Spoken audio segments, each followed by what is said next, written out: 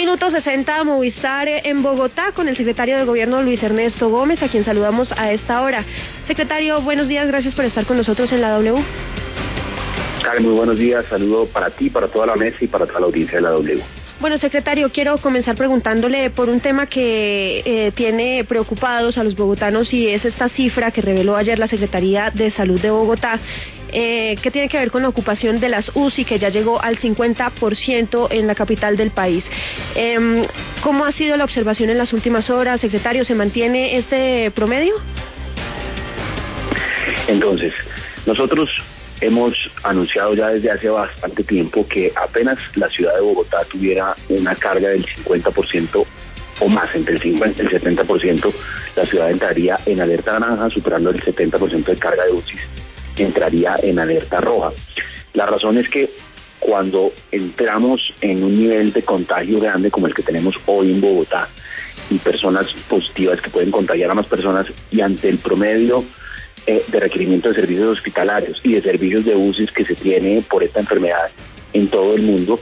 pues el crecimiento entre el 50 y el 70% es rápido y también entre el 70% y el 100% de ocupación, que es a lo que nunca podemos llegar,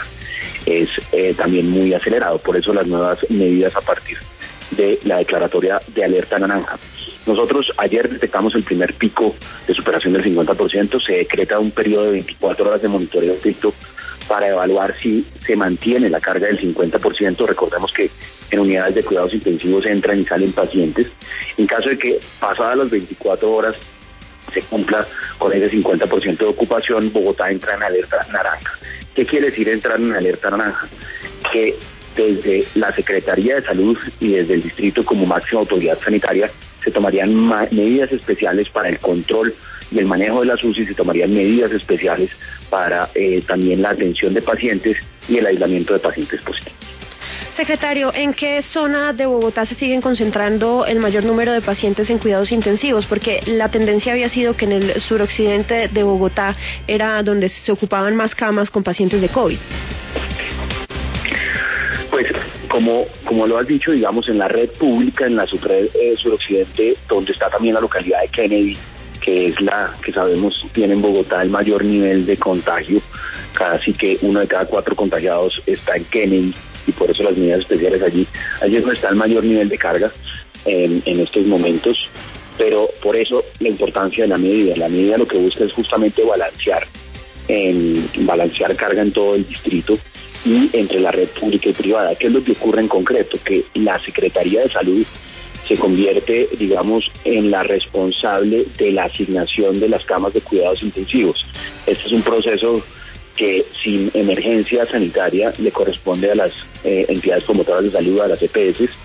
y em, que a veces por trámites burocráticos, por complejidades, por carteras, por distintas circunstancias, pues lleva a que haya demoras o que no haya asignación, incluso en algunos casos lamentables. Eh, eso no podemos permitirlo en estos momentos y por eso la autoridad sanitaria, que es la Secretaría de Salud, entraría en la eventualidad de una alerta naranja a controlar la remisión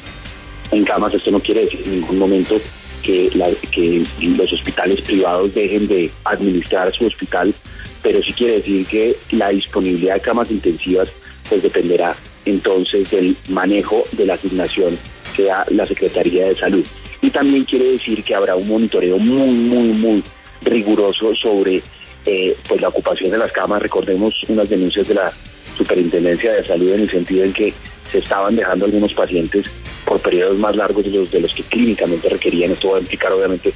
un control adicional y medidas también de eh, verificación epidemiológica a las personas que hoy son positivas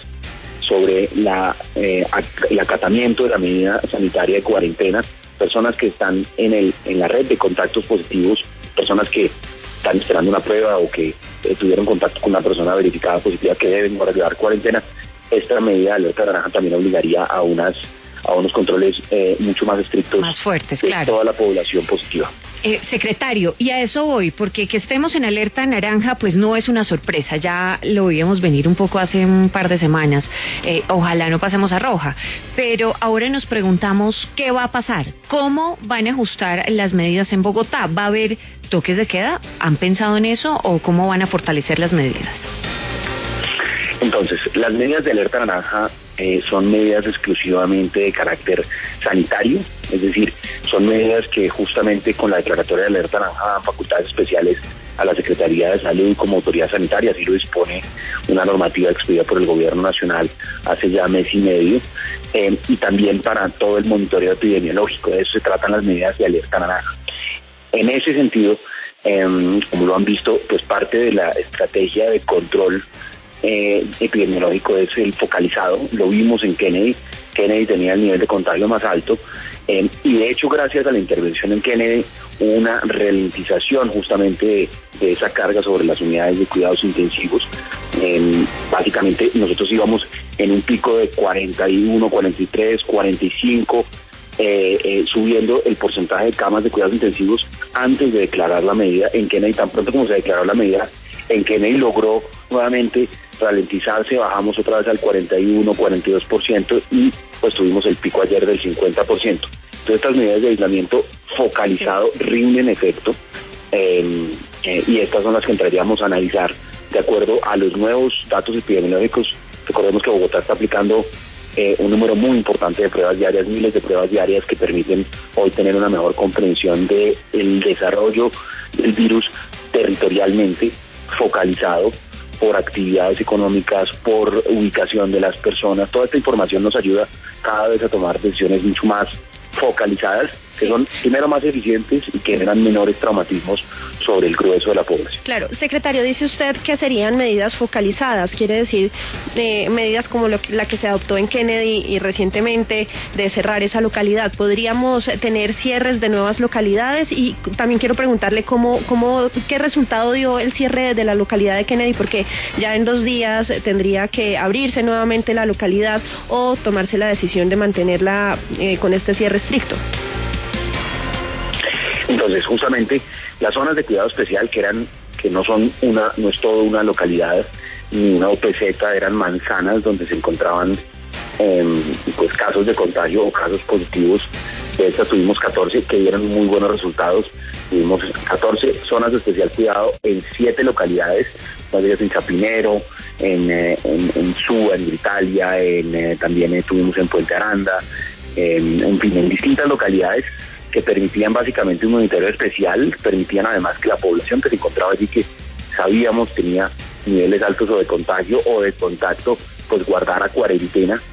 Em, y esto dio muy buen resultado. Lo mismo ha dado el, el, aislamiento de la localidad de Kenia hasta el momento. Yo te decía, justamente nuestra medición más eh, efectiva es ver cómo eh, el foco más grande, digamos, de, de, de, propagación del virus que estaba haciendo Kennedy, donde estaba uno de cada cuatro casos, pues si allá durante estas últimas dos semanas no hubiéramos logrado desacelerar el ritmo del contagio, desacelerar em, eh, la transmisión de persona a persona, pues hubiéramos tenido mucho más rápido la llegada a, a este 50%, justamente se ralentizó durante, iba subiendo mucho antes de la declaratoria de emergencia en Kennedy, tan pronto se declaró allí la emergencia y el aislamiento preventivo durante 14 días, se ralentizó el nivel de, de, necesidades de camas hospitalarias y también de camas de UCI y por eso las nuevas medidas tienen que lograr exactamente lo mismo, que en aquellos casos donde hay evidencia de contagio, donde hay monitoreo epidemiológico de contagio y de contactos de contagio, podamos tener unos aislamientos focalizados que nos permitan ralentizar justamente la propagación del virus. El virus se va a estar propagando, eso es algo natural y, inevitable de, esta enfermedad, pero si la velocidad en la que se propaga es muy alta, pues tendríamos justamente los escenarios que hemos buscado evitar en todo momento desde el inicio de esta pandemia, que es que se supere el, la capacidad hospitalaria y ahí es cuando los casos que pueden ser eh, fatales resultan siendo fatales porque no se les puede brindar atención oportuna en salud. Secretario de Bogotá, Luis Ernesto Gómez, le agradecemos por haber estado con nosotros en la W y por supuesto seguiremos muy atentos a cómo avanza esta ocupación en las unidades de cuidados intensivos en Bogotá debido al COVID-19. Claro que sí. Un feliz día para ustedes.